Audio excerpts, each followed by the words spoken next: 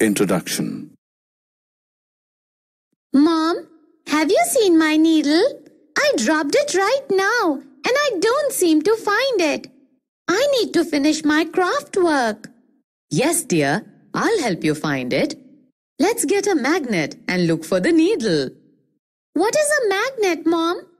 How will that help me find my needle? Children, in this lesson, we will learn about magnets and their properties.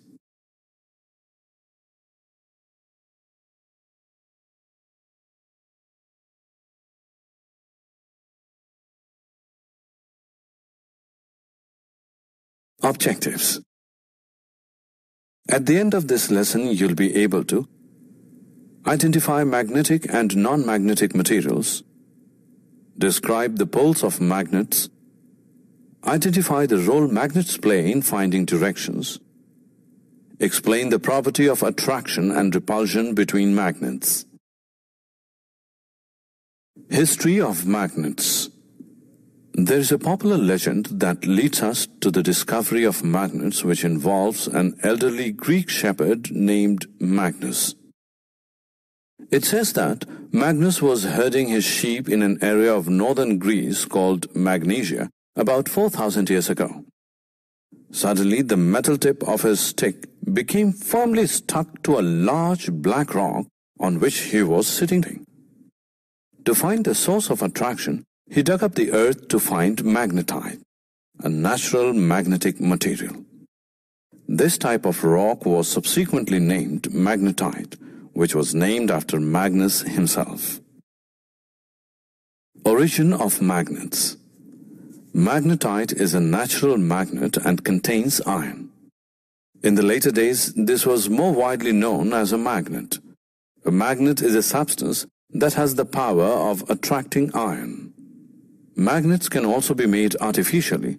However, the process of making artificial magnets is a recent discovery.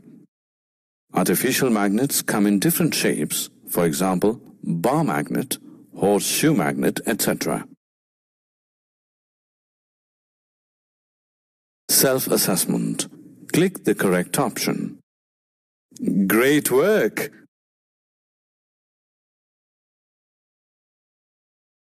Great work!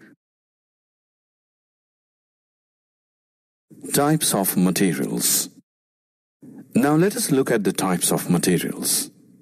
Materials that are attracted by magnets are called magnetic materials. For example, screws, nuts, bolts are magnetic materials.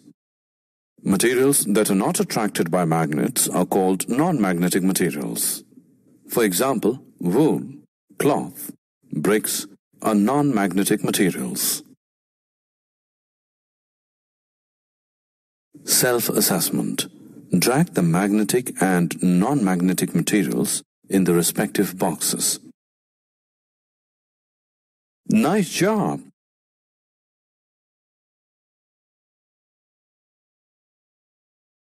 Nice job! Nice job!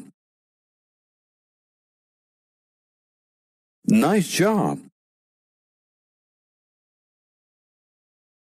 Nice job.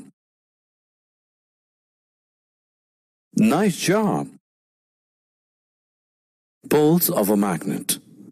When you move a magnet over magnetic substances, you will see that these substances get attracted to particular parts of the magnet only. These are generally the two ends of the magnet. These ends are called poles of the magnet.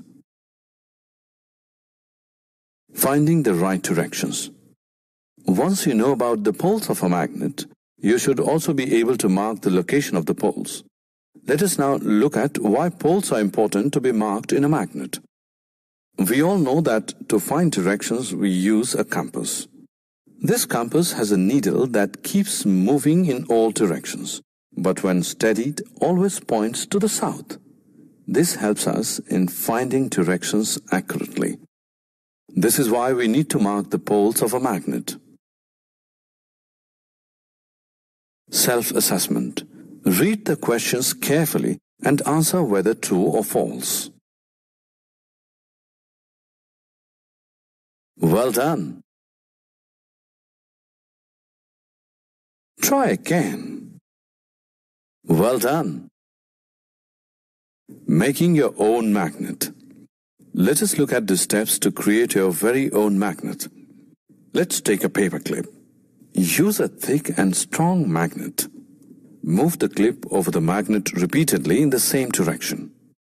Perform this step 50 to 100 times. The movement needs to be quick. Now to check whether the magnet is ready, bring a nail close to the clip. If the clip does not attract the nail, then continue the same process for some more time. Keep in mind that the pole of the magnet and the direction of its movement should not change. Attraction and repulsion. Now that you know about poles of a magnet, let us look at the attraction and repulsion properties too. In the case of magnets, when the south pole comes in contact with the north pole, these get attracted to each other. This is better known as opposite poles attracting each other. Similarly, when the south pole comes in contact with another south pole of a magnet, they do not attract each other. In fact, they repel each other. This is better known as similar poles repelling each other. Taking care of magnets. We are now aware of the attraction and repulsion properties of a magnet. To keep magnets safe and in working conditions, follow these guidelines. Do not heat, hammer, or drop magnets from a height. They will lose their property if done so. Keep bar magnets in pairs with their opposite poles on the same side. Use wood to separate them. Keep a piece of iron across the poles of a horseshoe magnet. Magnets should be away from computers, mobiles, television sets, music systems, and compact discs. Self-assessment. Fill in the blank with the correct option.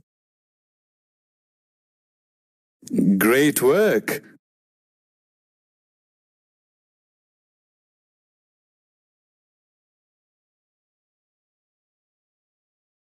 Think again. Think again. Great work. Summary. Let us summarize what we have learned. A magnet attracts magnetic materials.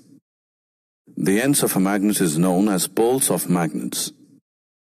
A free magnet always points in north-south direction. Similar poles of the magnet repel each other, while different poles of the magnet attract each other.